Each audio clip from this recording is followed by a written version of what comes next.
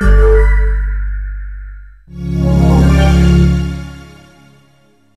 にちは。こんにちは。えー、っとちょっとした報告があります、はい。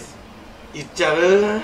いやもうマジ無理です。今年は異常よ。今年は特に無理です、うん。あの暑すぎる。うん。暑すぎるということではい。10日間夏休みをもらいはい。います、ただきます、ねなんかねニュースでやってたけどね、うん。ま、もう12週間前の時点で、うん。熱中症の死者数がうん。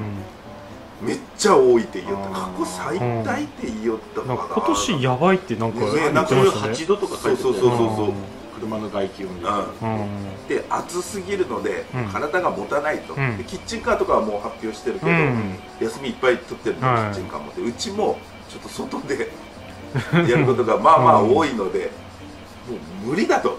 で 山山作業もちょっ中月まで中止してて、うんちょっとね倒れる人とか出てきたらうん。危ないので、ですね。年齢層がうちら年々年々おじいちゃんがね。そうそうだってさあの家の前でやるにしてもコンクリートでさ、あー暑すぎる。しでも10日間休んだとて、うん。次始めるのが20日からだけど、うん。まだ暑いんだよね、まあまあ気でもまあうん気持ちちょっと10日間休ませてもらいます、はい。なので、えー、と8月11日に今これが上がってるはずだから、20日からうん。アップしだすのが21か。21日から動画をアップしだすんだったかな、10うんこれも休みみたいなもんだけどね今日の動画も。11121314151617181920うん21から動画を上げ出します、パワーアップして帰ってくるわけもなく、ただ今までの。ただね夏休みに。夏休み明けすごい。なんかもうすっごい。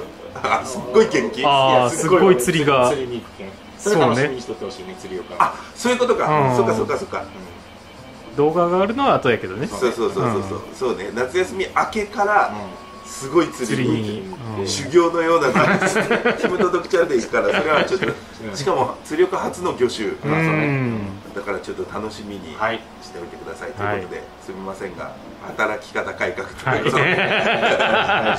で、もあのまあ鉄馬しようね。そうね。一回ぐらい。うん。徹夜で麻雀しよう。じゃあまあ、はい。そんな感じで、えー、10日間お休みいただきます。はい。したしたたご視聴ありがとうございます。えまあ、釣岡坂岡ではキッチンカーゴルフスタジオも営業しております。はい。キッチンカーは神崎駅北。ゴルフスタジオは釣岡ハウスの横にございますので、詳しくは概要欄に貼っておりますので、ぜひぜひチェックしてください。